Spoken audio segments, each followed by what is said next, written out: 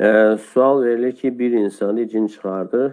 Sonra cindən soruşur ki, niyə, necə bu adama girmisən?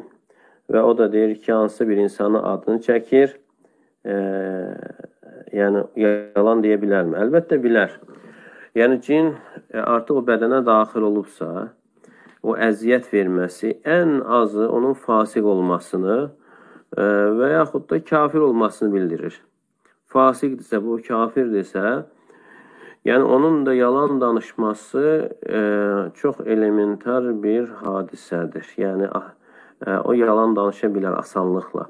Və ona görə də e, onu danışdırmaq, alimlər də buyurur ki, cini danışdırmaq olmaz.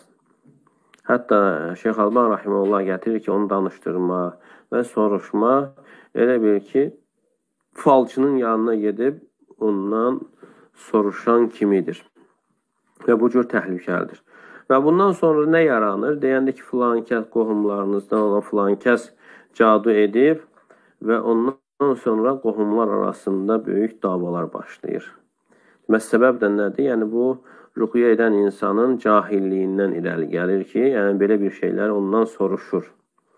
Soruşur və sonra da onun dediyinə də inanırlar. Ona görə olmaz, cini danışdırmaq, soruşmaq belə şeylər olmaz.